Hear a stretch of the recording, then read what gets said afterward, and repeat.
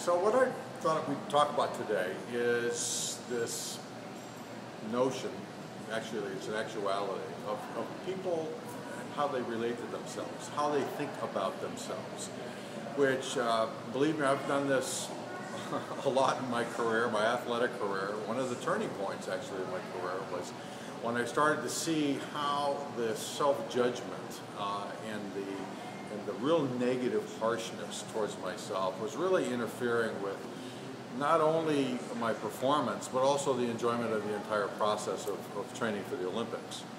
And later on in, in working with people, I think the thing that I'm, I'm most passionate about is, is getting people to see and to recognize and to be aware of, of what they do to themselves in terms of uh, the self-talk.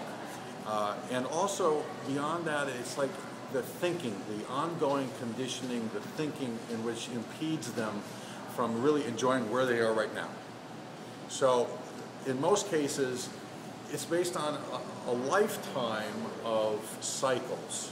You, know, you go into this cycle of, of, of, of a middle age, and if you go and lament about, oh, god damn it, I, I'm, shit, this is horrible, I'm getting old. It's like, well, first of all, yes, it is what it is. There Ain't nothing you can do about it. It affects all of us.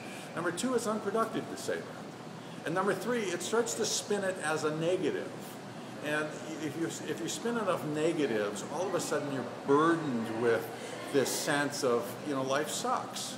Uh, and then you lose your enjoyment. So a great deal of my work with people and a great deal of work with myself uh, has been understanding the limitations of enjoying one's life and one's being in one's body by conforming to and buying into certain thoughts and concepts about themselves, as opposed to just simply dealing with what's happening right now in your life and how your body feels right now and what your energy level is right now and doing the very best you can and not spinning it in terms of what I can't do or you know, life sucks.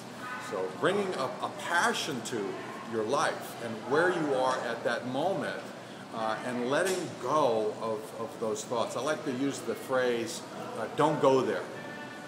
So if I have a client that says, oh, you know, I'm hurt and I'm, I'm starting to get old, I uh, uh, uh don't go there. Don't, if you really want to, I mean, go right ahead, but I'd really advise against it. All of these thoughts about I can't do and I used to be able to do this, but I can't, yeah, so what?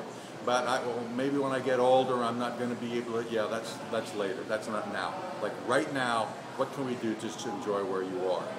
That's what it's about.